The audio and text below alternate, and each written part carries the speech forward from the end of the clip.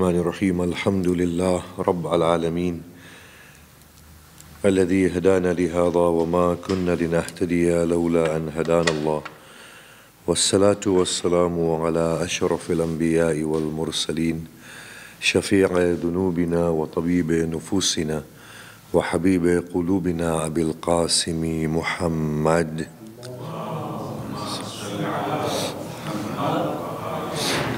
وآله الطيبين الطاهرين المعصومين المظلومين وأصحابه المنتجبين ولعنة الله الدائمة على أعدائهم أجمعين.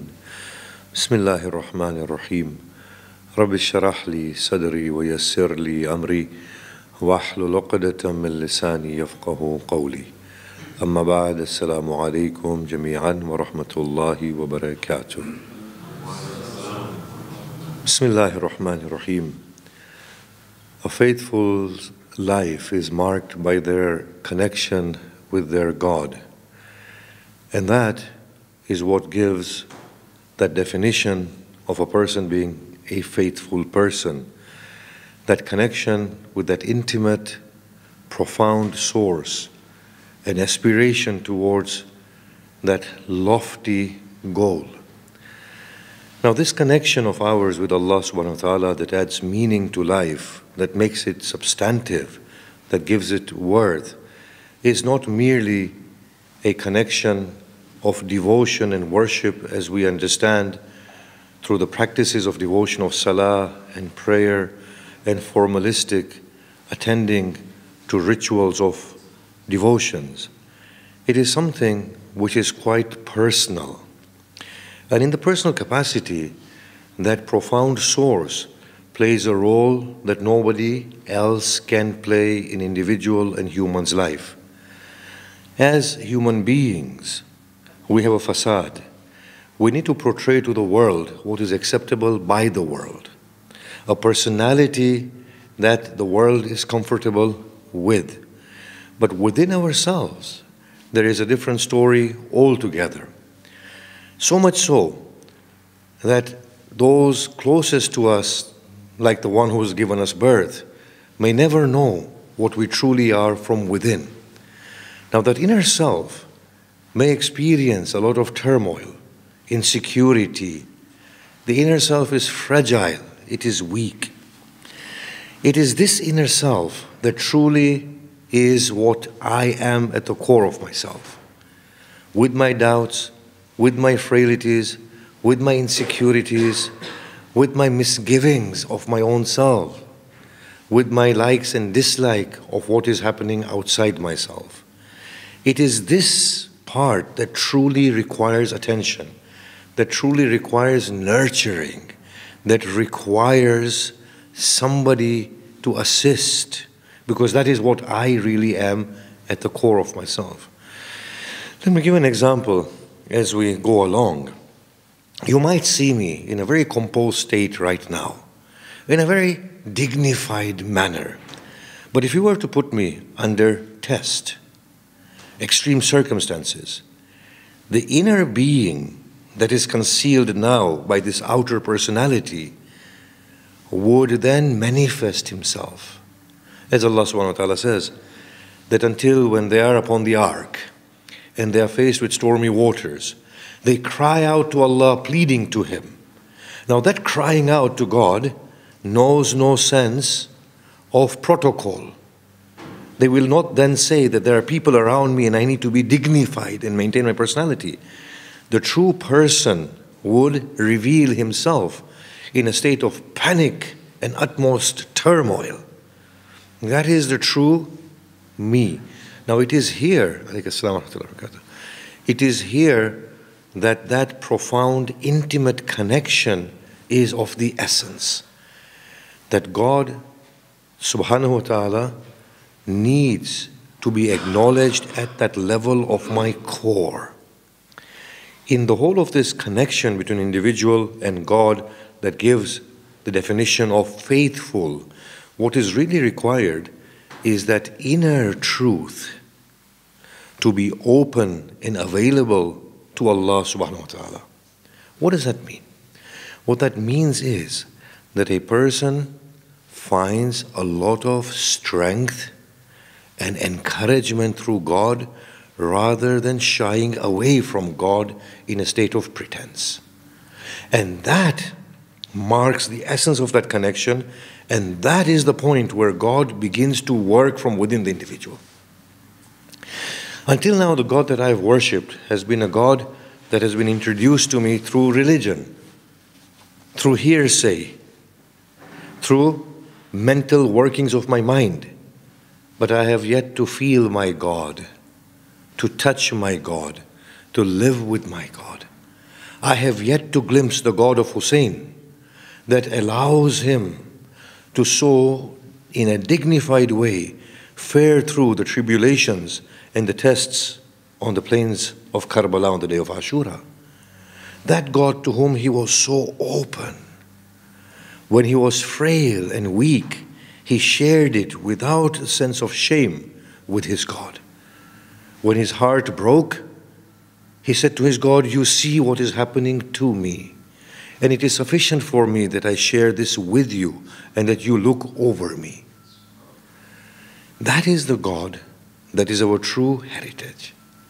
That is the true connection that is there. In light of this, the best gesture of devotion is the gesture that is made through weakness to God. Ali Salamullah says to Allah, I seek intercession with you through my state of weakness, through my state of need and poverty. And how may I seek intercession with you through any other state? For this is my real state of being, my poverty. At times, the only thing the great Lord wants is for me to say, Oh Lord, I am unable. Assist me, help me. I am in need of you.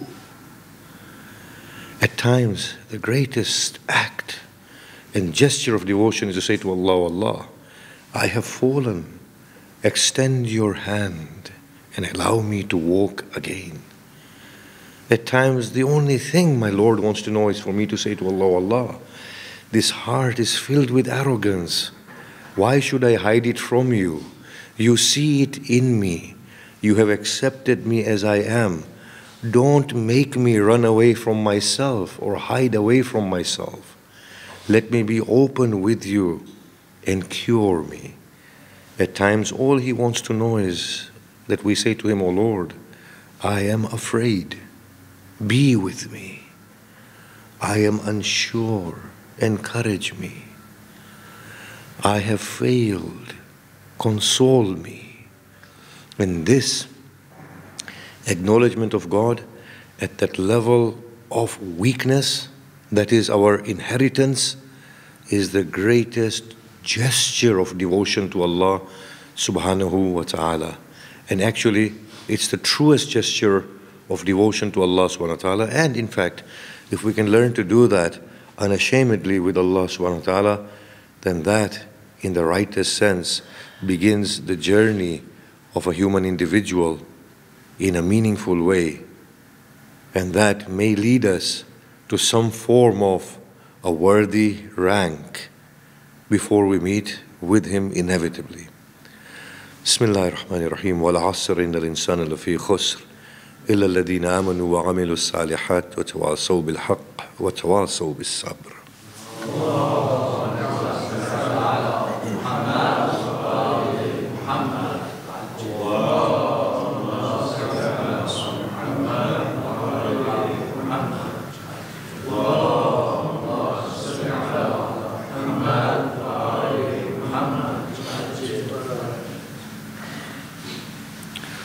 بسم الله الرحمن الرحيم الحمد لله رب العالمين والصلاة والسلام على أشرف الأنبياء والمرسلين وآله الطيبين الطاهرين أما بعد السلام عليكم جميعا ورحمة الله وبركاته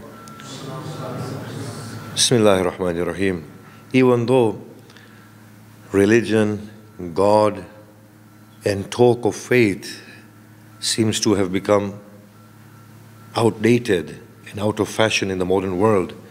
Yet, there has never been a greater need to God and faith as there is today in the present world and in the modern community of the human beings.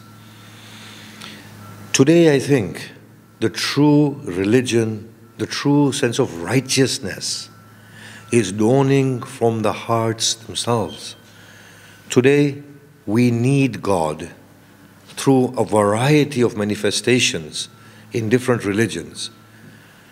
If we look at these faiths and religions, I think we understand fully that human beings have hijacked a noble, profound human message, and that at the core of all these religions and faiths lie a very beautiful sense of life, a worthwhile and a meaningful sense of life in the name of God and God human relations. If today's world, with all its faiths, Christianity, Hinduism, Buddhism, Sikhism, Islam, Judaism, if these faiths were to come together and say, let us use the name of God and the untarnished teachings, moral teachings of our scriptures to foster goodness within humanity, these faiths can take us to a state which is truly worthy, a world that is worthy of human existence. We need to have utmost confidence within the faiths that we have and use these faiths as a basis for harnessing goodness within human community. When we talk with people of non-faith persuasions, it becomes somewhat arduous and difficult to talk on the basis of goodness for the sake of goodness. But when we talk with people of faith, no matter what faith, the task becomes easier because at the core of every faith lies that fundamental relationship with God and that God is a force of goodness. And the God that is defined at the core of every religion is the same God. He is colorless yet colorful genderless, yet represented by both genders, languageless, yet the author of all language, religionless, yet the one who is claimed by all religion. We find an untarnished beauty at the core of every religion and at the core of every faith. It is for us here to take this opportunity and to realize this and to know that we can work through faith. It is good for us, therefore, in our communal capacity and individual capacities to extend a hand of humanity and godliness primarily to the people of other faiths and use the basis of God and use the belief in God as a basis to bring about greater understanding and greater goodness. I believe we all have a duty and a role to play. From the people around us to our neighbors and other communities to bridge the gaps between us through the already existing medium of religion and God. To be encouraged. Now, this is something very, very important we can become extremely dismayed by looking at this world of ours today and the crisis of the world of ours. Or we can be extremely encouraged. It depends on how our outlooks are. But becoming dismayed further adds to the worsening of the situation. And our human godly nature wants us to be optimistic. So, being optimistic is our real state of being. All we need to do is to look back at history and look at those profound creatures of God. Look at the Prophet of Islam. In the midst of immorality, killing, bloodshed, plunder, he had a very positive attitude. And he built on the good sentiments that existed within people. Today, at least we are a few people in this room There was a time he stood alone at the door of the Kaaba and carried out his mission. If one person can so decisively change the history and the course of humankind till the day of Qiyamah, imagine if a group of people were to be encouraged through him and decided to make that difference. Why couldn't they do something? And today we're not a few people, we have like minded people, so we should be encouraged. We should never, ever be dismayed or become passive or lose hope. we should always be extremely hopeful. I'm going to end with two things. One is that God needs to work at a personal level, and God needs to work through us at the level of the community. You see, I, within myself, need to evaluate myself and examine myself. I do a lot of wrong. Then, through God, I need to put it right with confidence. The hearts that I hurt, I need to make amends with confidence through my God the wrong that I have done, I need to rectify them through my God. Two, there is a lot of goodness that I can impart in my own limited way to those around me by a good attitude, by the mention of God, by reminding the other of the goodness that they have. When a person is fallen and defeated, to tell them that the real success is with Allah subhanahu wa ta'ala and within yourself. If through this failure you become a greater person, then that is truly the greatest success. So, at two levels, I need to work within myself and outside myself through God.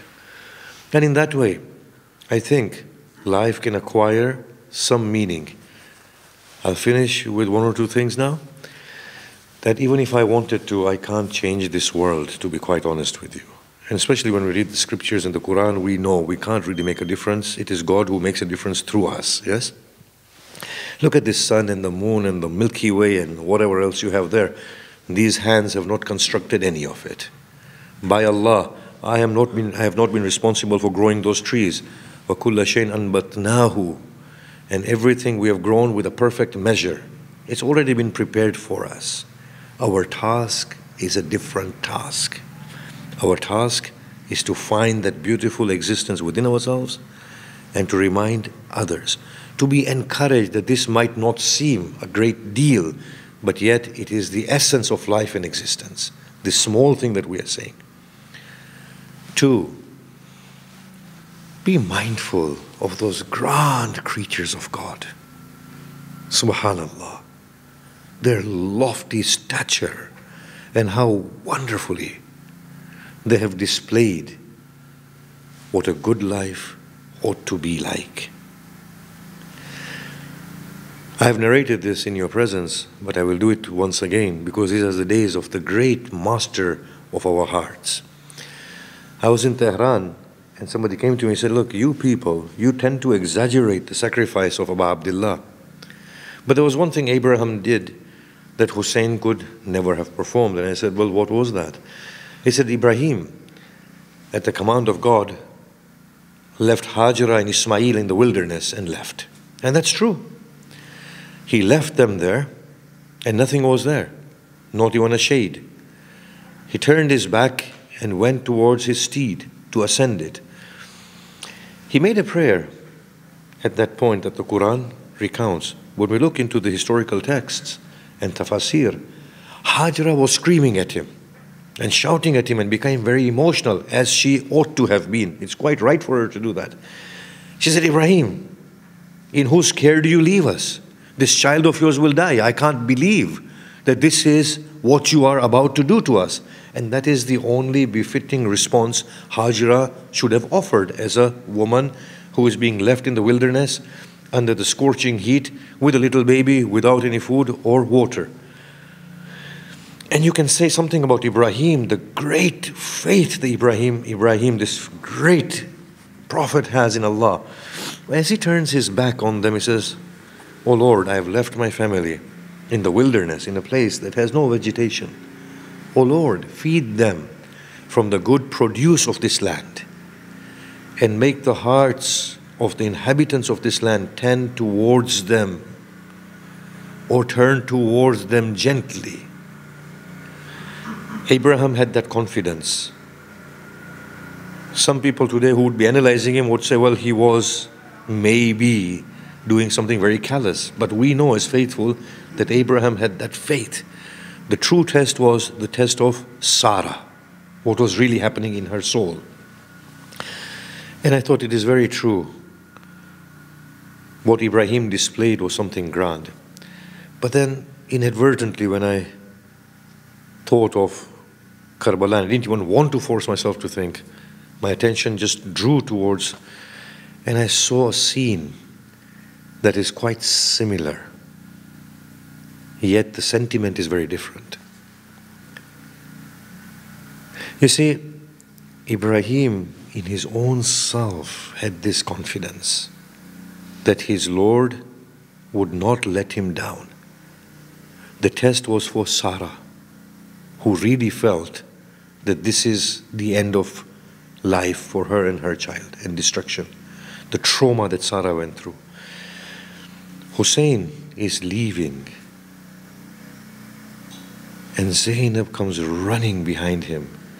And she says, Oh, brother, in whose care do you leave your sister? I have no one.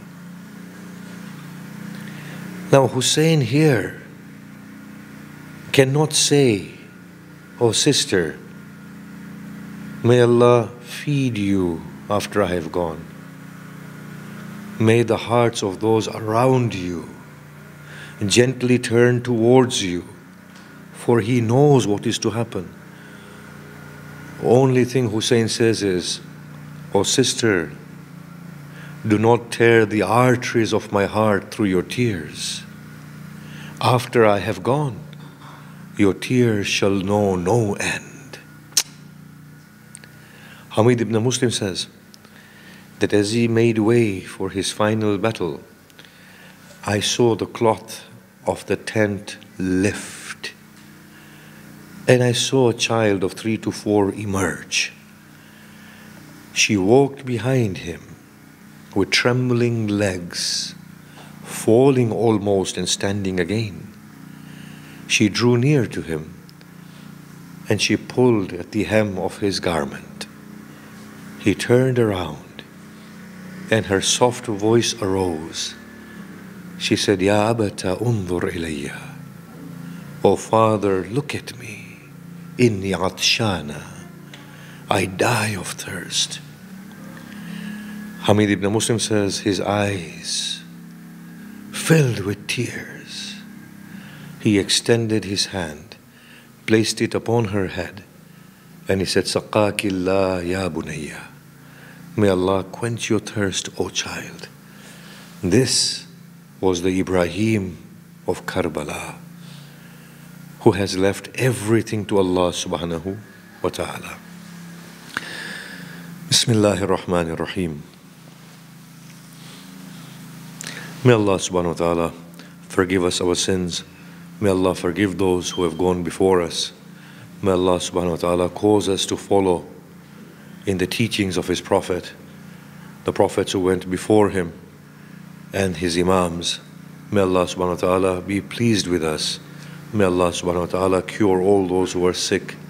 May Allah subhanahu wa ta'ala grant the wishes of all those who plead to Him. May Allah subhanahu wa ta'ala impart the light of faith to our hearts. May Allah subhanahu wa ta'ala make our lives meaningful and productive.